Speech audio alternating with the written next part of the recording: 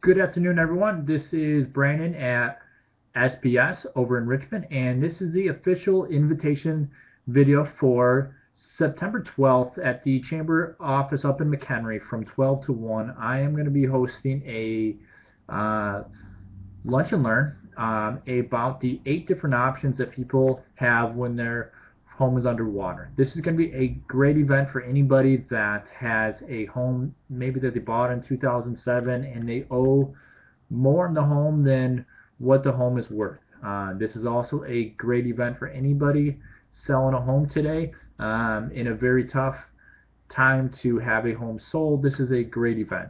We are going to be going over the pros and the cons of all eight different options available um, in detail. Okay, we are going to be going through the eight different options, and the eight different options are going to give you both the good and the bad of each, and it's going to be a very non-biased uh, 12 to 1 and we are going to uh, give people as much information that they can uh, choose a very informed choice of how to go forward all right? Uh, if you have any questions on this um, send me an email at brandon at schwabpropertysolutions.com or I can be reached at uh, 224 333 6266 extension 810.